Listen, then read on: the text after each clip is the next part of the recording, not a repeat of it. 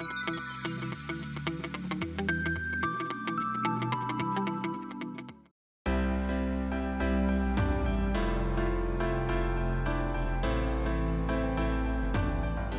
amici pasticceri e appassionati di cucina, eccoci con una nuova puntata di Oireggio con gusto. Con i lietti, galline, corone e trecce, non importa la forma, ma il dolce pane pasquale è una prelibatezza che fa parte in tanti luoghi dell'Oireggio della tipica tradizione di Pasqua. Ed è proprio una corona di Pasqua che oggi faremo insieme alla pasticcera Siglinde Pircher dell'atelier 100 Grad di Brunico. Cara Siglinde, io direi partiamo! È un piacere per me essere qui oggi insieme a voi per fare la corona pasquale. Questi sono gli ingredienti per l'impasto di lievito.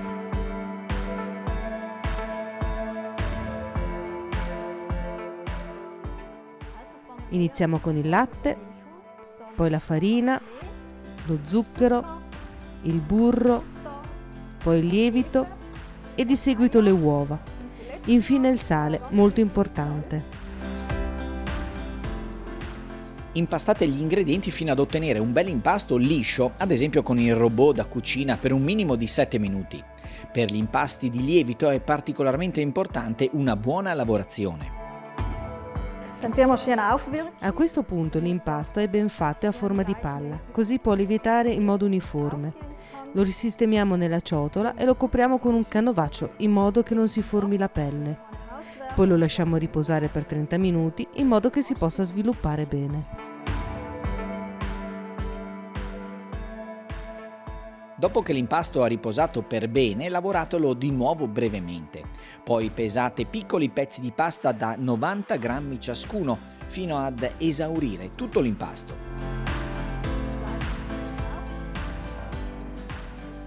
Poi schiacciamo bene l'impasto in modo da avere un bel pezzo compatto.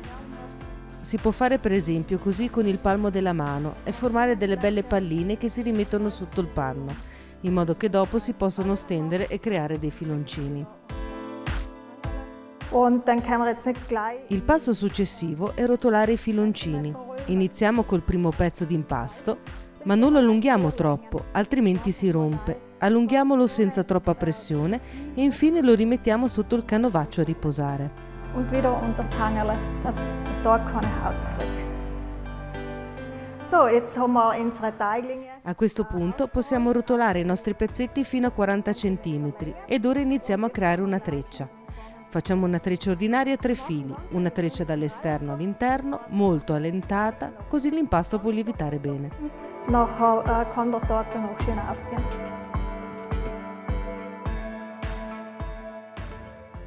Trasformate le vostre trecce in corone intrecciando leggermente le estremità. Poi mettete le corone abbastanza distanti l'una dall'altra sulla teglia. Al centro mettiamo un guscio d'uovo in modo che alla fine possano essere ben posizionate le uova colorate e la nostra corona pasquale sia decorata a festa. Coprite e lasciate riposare per 30 minuti.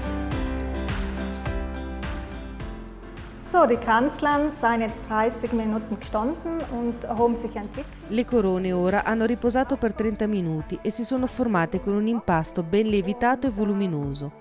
Infornate ora a 180 gradi, prima potete spennellare le corone con un uovo e a chi piace cospargere con della granella di zucchero. Und uh, wer mag kann auch drauf tun.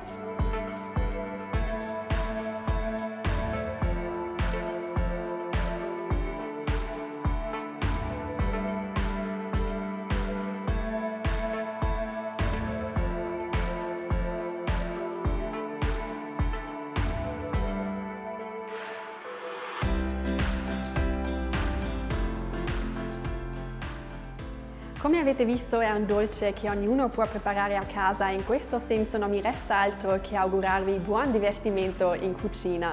Speriamo di avervi addolcito un po' la festa di Pasqua. Alla prossima ricetta con Oireggio con gusto!